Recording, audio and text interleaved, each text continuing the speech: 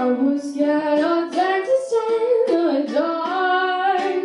Whoa, I was scared of pretty girls and starting conversations.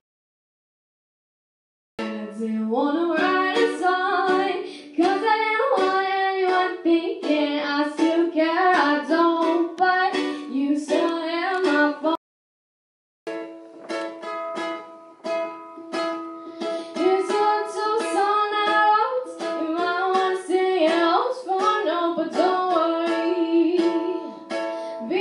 Happy.